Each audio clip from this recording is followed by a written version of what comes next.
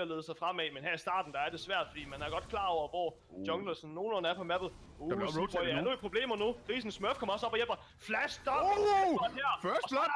First blood til den her Oriana. At uh, han ikke kan komme ned og hjælpe sit hold, det kan Nihus, så længe han uh, kan komme væk derop fra Kerberos af. Kidon igen i problemer mod Grisen Smurf. Han er... Uh, han vil altså ud og have et uh, kill her, Grisen. Han er helt alene lige nu. MF er kommet op. Det er Maddie der, der lige skal have... Hvor kommer sikret Vladimir? Vladimir ind på backline har brugt Er hemmerplay. det nok? Hvad er det lav?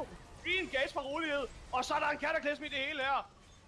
Maddie falder altså på frontline. Han har ikke mere liv at gøre med. Raxon følger lige efter, og så er det Snow Predator også.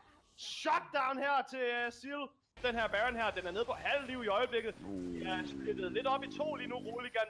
Tre mand hernede under Baron. De prøver sådan at, at blande dem, og så er Raxon altså gået ind. Hemoblake er blevet brugt her. Maddie ser ud til at få slået ham ihjel. Seal uh, får sit kill her. Bullet time ind over indgangen, og så er det uh, Baron, de går tilbage på nu.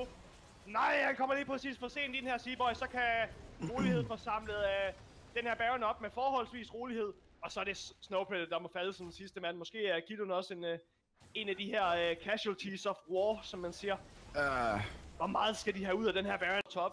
De har fået en lille blå bør for os, plus de her tre kills, de også fik i teamfighten. Hvor meget kan de nå at få ud af den her Baron? jamen, da, da Baron bliver secured, der har de et 6k guld. Øj, Shockwave her på Nihus. Kan han nå at komme ud? Det ser ud sådan ud. Cataclysm bliver brugt endnu en gang Seaboy, men så er han altså fanget nu af Mukoen. Mens Raxon leger øh, lokkemad her. Øh, skal han selv lade livet i forsøget på at redde sine øh, holdkammerater. Det ser altså sådan ud. Ej, afklares i sidste øjeblik fra ham af. Han er, han er færdig med en auto-attack her fra Maddie. Bullet time ind over. Og så er det Kidun, som bliver til dobbeltkillet her til Maddie. Snowbreeder falder der også til Kerberos. Og så er det Nihus, der er den sidste mand i live fra Roligan. Skal vi se Singularity gøre det, som Roligan var ude at gøre ved Eastern Vikings i går? Skal de vende et game og få Nexusen med det samme, de tager inhibitorsne? Det er utrolig flot spil at se det her makromæssigt, at de simpelthen bare lukker spillet efter den første inhibitor, efter den første Baron, efter fire drager og en 15 i score.